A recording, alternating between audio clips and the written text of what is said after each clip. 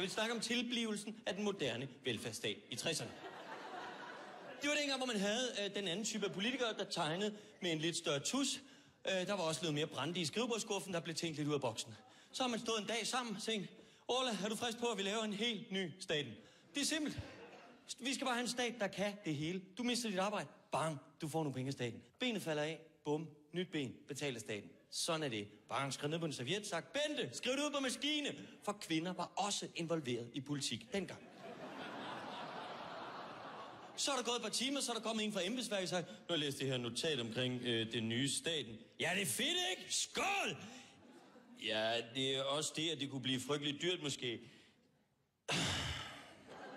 Ja, men nu har vi skrevet det ned og alt muligt, så nu gør vi det bare. Jamen, så vil jeg i hvert fald gerne foreslå på det offentlige vegne, at det at få noget for den enkelte borger kunne blive en rigtig dårlig oplevelse.